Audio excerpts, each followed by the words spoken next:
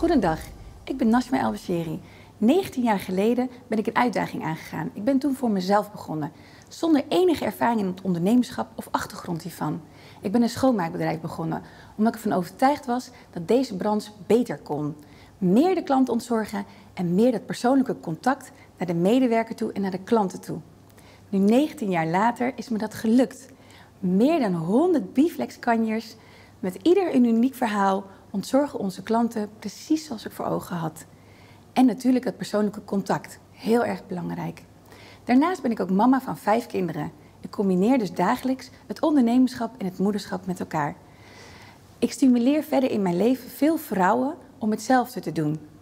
Om ondernemer te worden en daarnaast het moederschap te combineren met elkaar, wat al een uitdaging op zich is. Het mooie is dat heel veel van deze vrouwen ook succesvol ondernemers zijn geworden. Nu sta ik hier als genomineerde voor Flevolandse Zakenvrouw van het jaar. Ik voel me ontzettend vereerd en ik ben hier echt super blij mee.